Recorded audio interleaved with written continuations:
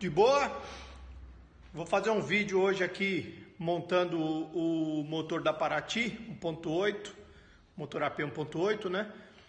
É, já estamos com todas as peças aqui, pistãozinho novo, tudo novo aqui para montar. Então eu vou trabalhar com a câmera na cabeça. Espero que o vídeo fique bom e que dê para você que está assistindo o vídeo aí ter uma noção mais ou menos de como que é que funciona o motor e como que se monta um motor retificado, tá? Que foi feito usinagem de virabrequim, foi feito o bloco, o motor completo, né? Eu vou estar tá montando só o bloco, tá? Aí mais para frente eu faço um vídeo colocando no carro lá e mostro para vocês. Espero que dê para você entender um pouco aí, tá bom? Vamos lá. Um abraço.